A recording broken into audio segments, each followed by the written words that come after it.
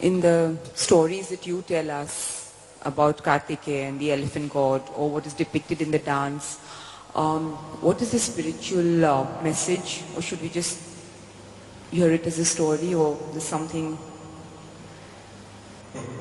deeper? When Parvati, I'm telling you another story. When Parvati asked uh, Shiva,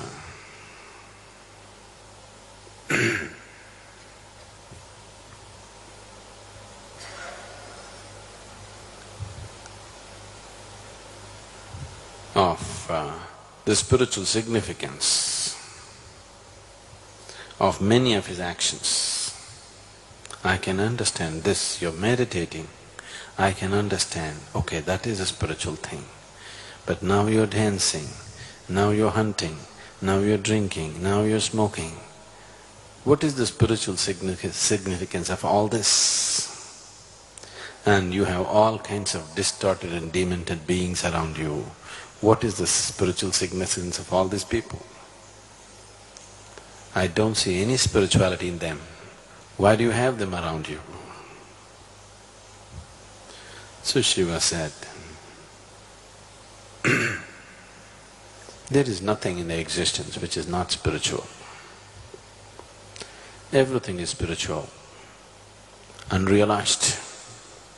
Now, all the methods that we're talking about, whether it is a story or a joke or a meditation or a process that we're doing, it is just to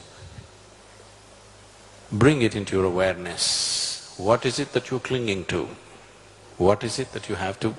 what is it that's obstructing you? You just have to look at those things. Don't try to understand where to go. You don't know where to go. What is it that is stopping you? You just have to understand the obstacles. Don't try to understand the root of life. Because it's not a dimension to be understood. But you can become that.